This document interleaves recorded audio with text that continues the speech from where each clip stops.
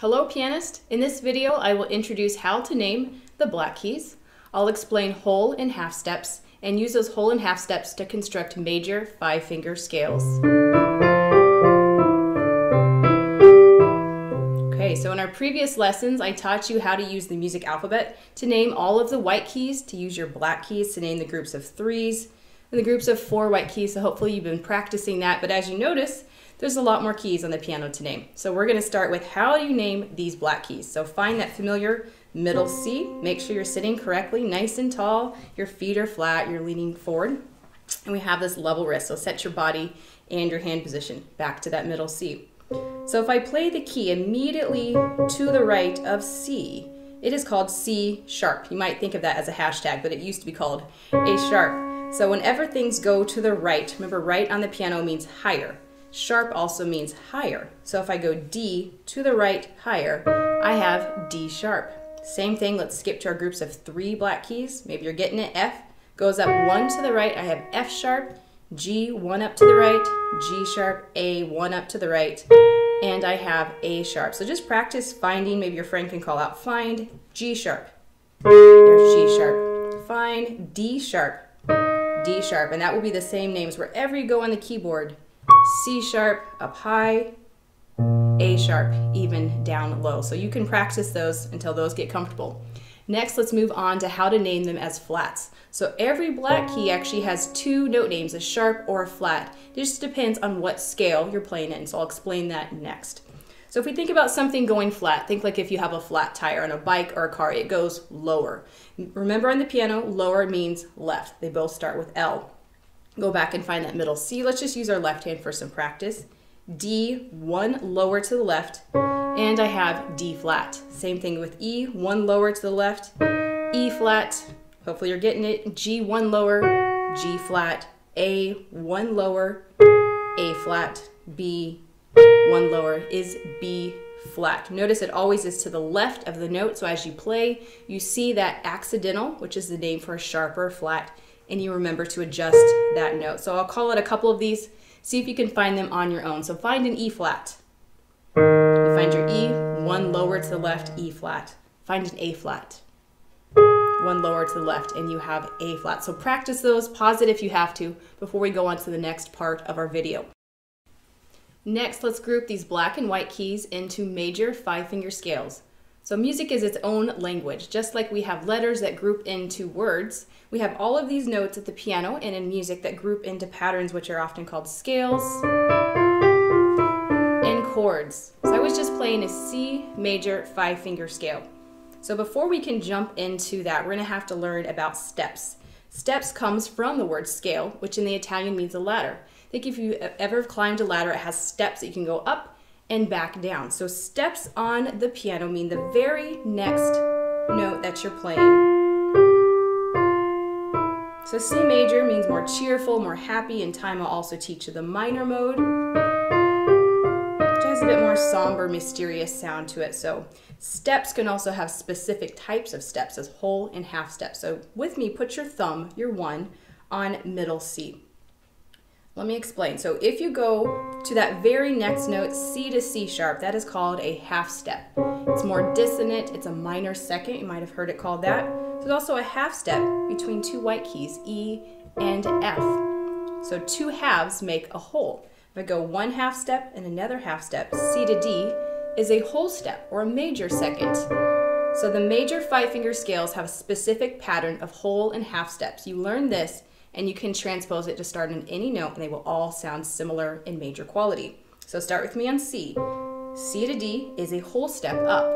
D to E is a whole step up. E to F is a half step. F to G is a whole step. Let me show you that going down again. G down to F is a whole step. F down to E, half step. E down to D, whole step. D down to C, and we have a C major scale. So let's practice that one more time. We have C, start note, whole, whole, half, whole. Start, whole, whole, half, whole. Just memorize that, memorize that, get that comfortable. Now we're going to practice transposing that scale pattern to a very popular key. Let's go down to B flat. Put Put your thumb on B flat. It's a popular key for band, for jazz musicians as well. Go up a whole step from B flat. Half to half, I have a whole step to C. Half to half, I have a whole step up to D. Half step is next. E flat, up a whole step is F. Let me start one more time at the bottom. Start note, whole, whole, half, whole. Back down, same notes, whole, half, whole, whole. I have a B flat major scale. So practice transposing that pattern to any starting note and you can build F sharp major, you can build D flat major. Let me also explain how do you choose to use a sharp or a flat when you name a scale. Let's go back to that B flat, perfect key for an example. So B flat to C. The scales use unique alphabet names. I've already used C, so I wouldn't call this C sharp. Next alphabet letter to use is D. I've already used D, so I wouldn't call that D sharp. I call it the next alphabet name of E flat, F, E flat, D, C, B flat. Okay, once you have these major scales constructed, we can also play a very and other important part of a, a pattern of music, just called a major triad. Major triads come from our major scales. It's a three note chord. Let's go back to the easy key of C major. Practice your C scale again. Then if you play notes in skips, where they skip over notes in between of C, E, G, I have a C major chord. And I play it with fingers 1, 3, and 5. Left hand plays it with fingers 5, 3, and 1. I'm to drop, I'm to roll off those major chords. Same thing in B flat, you play your scale first fingers one, three, five, and I have a B flat major chord. Same thing in the left hand. So I would encourage you to go find your favorite piece you're listening to on the radio. You could do guitar tabs or just do a search of chords, and you will find the words with chords written above it. If it's just the letter like C, you now know how to play C major. If you see a G chord, you'd play a G chord, the three notes and skips from your scale. Lastly, I always like to give you something to practice to get your fingers stronger. You're going to use these major scales to do this little repetitive exercise. Your fingers need some practice. So you can use these words of I love playing piano. I love playing piano. So there's four short notes, two long, relaxed hand, drop from the elbow, tall fingers, roll off the last notes.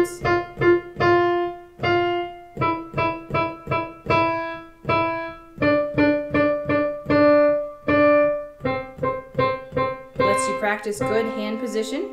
Never forget the left hand. Lastly, we'll practice left hand. I'm gonna start with my five on that lower C. I have to go slower for the left hand.